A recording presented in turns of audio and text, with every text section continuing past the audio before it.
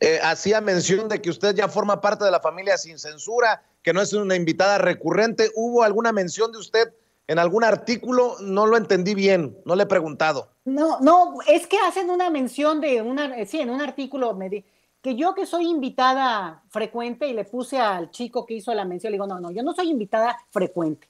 Yo soy parte del equipo y cada semana, cuando se puede y además, digamos, no cuando se puede, cada semana, salvo que hubiera alguna emergencia y no pudiera, participo del el gusto y el honor que tú me, con lo que me privilegias, Vicente, de darme y permitirme hablarle a quienes nos escuchen. Entonces, más bien era una, una respuesta a quien trata de minimizar mis participaciones como, ay, de repente apareció. No, no, no. Y además, en las buenas y en las malas, ¿eh? Que no, que no quede, eh, que no quede sin decirse, porque eso también lo he dicho a propósito de tu espacio y del trabajo que han hecho ustedes desde hace tanto tiempo, que por cierto, que, ese también quede claro, la historia y la trayectoria de los, del periodista Vicente Serrano no empezó tampoco con el proyecto de Sin Censura. Esa es otra cosa. Y, por tanto, bueno, pues nada más agradecerte como siempre el espacio y el tiempo, Vicente.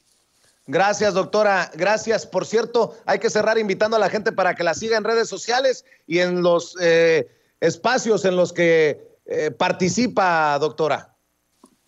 Pues sí, como siempre. Ay, mira, es que tengo aquí el. Es que se cayó Easy, ¿eh, Vicente? Entonces no estamos con internet, es una cosa que no te cuento. Bueno, eh, eh, arroba Leti Chelius, mi Twitter, y escribo una columna semanal en Sin embargo MX. Y bueno, ahí me pueden seguir y encantar de la vida, y pues como académica desde el Instituto Mora produciendo lo que corresponde, Vicente. Mando un abrazo, doctora. Muchas gracias siempre por. Eh, por eh, decir presente y ser miembro de esta familia sin censura. Gracias, Vicente. Un abrazo a todos y a Ceci siempre. ¿eh? Gracias, Ceci, querida. Cuídese, la doctora Leticia Calderón Chelius, experta en asuntos migratorios, investigadora del Instituto Mora, hablando con nosotros sin